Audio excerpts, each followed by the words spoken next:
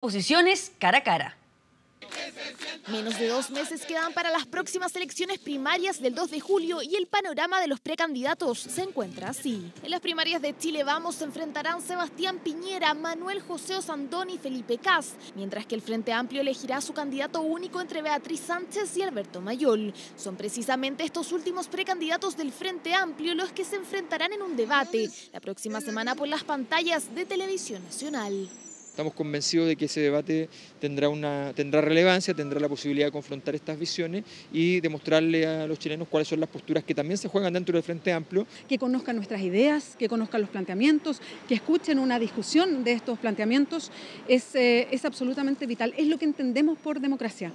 Este será el primer debate televisivo entre dos precandidatos en carrera a la moneda, una instancia decisiva que se transmitirá el próximo miércoles a las 23.30 horas en el programa El Informante de TVN. Invitamos rápidamente al Frente Amplio también a debatir y eh, felices accedieron y por lo tanto estamos muy contentos. Además les ofrecimos hacerlo desde regiones porque sabíamos que una de las cosas que ellos querían era precisamente en regiones. Vamos a hacer este debate en Valparaíso el miércoles de la próxima semana. Eso pasa en el Frente Amplio, mientras que Chile Vamos también está organizando un debate con sus precandidatos junto a canales de televisión. Debate que aún no tiene fecha, pero que ya comienza a tomar forma. Vamos ahora a reunirnos entre nosotros primero rápidamente para afinar un par de detalles y esperamos dentro de los primeros días de la próxima semana reunirnos ya con los representantes de los canales.